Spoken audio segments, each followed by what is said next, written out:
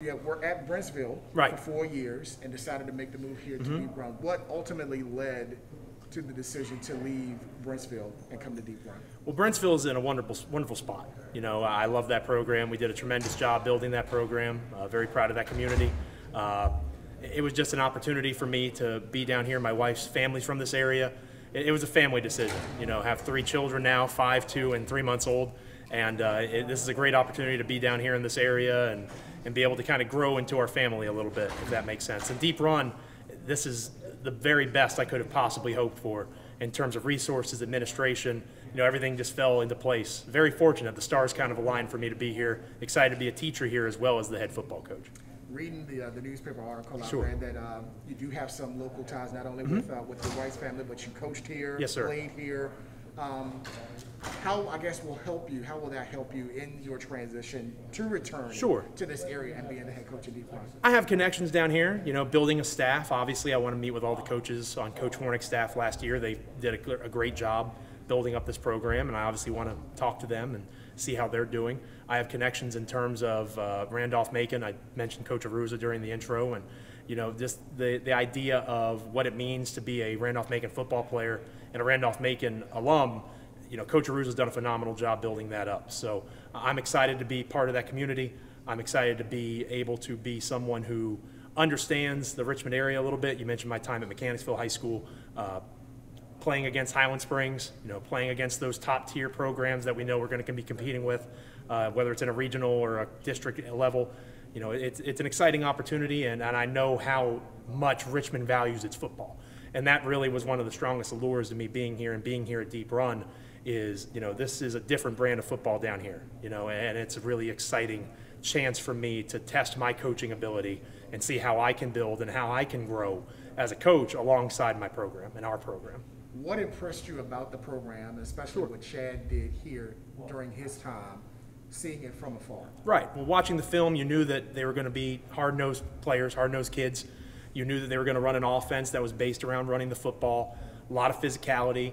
And you could tell that they were smart football players. You know, they were well coached, they were able to execute scheme really well, and they, they played for each other. You know, there's a lot of passion about this community, and I'm a very passionate person, uh, sometimes for better or worse. And to be a part of a place that is passionate about football, passionate about sports, our athletic department's phenomenal here, our faculty is tremendous. You know, the school in general is just a wonderful place to be. And Coach Hornik was a big part of that during his time here, and I look forward to adding to it and moving abo- uh, above and beyond it even. Um, you always want to build up a place better than it was when you left it. Coach Hornik did that, and I want to build upon what he did in terms of his success. You mentioned the seniors a lot in Sure. your intro uh, speech. Um, why is that so important, that specific group, especially for a coach, a new coach, making the transition? Like I said during the introduction, I'm not Chad Hornik. I- I'm Joe Mullinax, and I know that things are going to be different just because I'm a different person. You know, Coach Kidd and Dr. Fellows hired me to do a job, and I'm going to do the job that I said I was going to do. I'm a man of my word. But at the same time, if you want to execute that as quickly as possible, you need complete and total buy-in. If I come in and I dictate what the tone is going to be without listening, and you'll hear me talk about that a lot if we get a chance to talk, I, I need to listen to these kids. I need to listen to the faculty members. I need to listen to the stakeholders in the program. You know, I, I need to be a good listener because if we're going to have success from the beginning, we graduate a lot of talented kids. Our, you know, Bo Kite, our quarterback, uh, but even beyond that, I believe we graduate 16 starters from last season's team. So we're going to have a lot of young kids.